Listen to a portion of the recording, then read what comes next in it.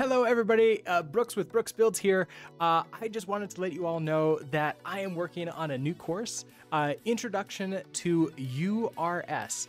Uh, Yew.rs, in case you're not aware, is a front end framework that you can program with, with Rust. Uh, that means you don't have to write a line of JavaScript, but still have something similar to React or, or Vue uh, front end framework working for you. So I will be recording all of these live on Twitch uh, in the mornings before work on weekdays and on Sundays, uh, usually around 8 to 9 until 12. Uh, so if you want to come and actually see these, you know, th- this tutorial get uh, created, we'd love to have you here.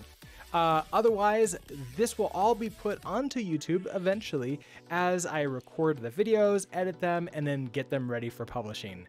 Uh, anyways, I hope that you are having a great day, a great weekend, and I will see you online whenever. Bye.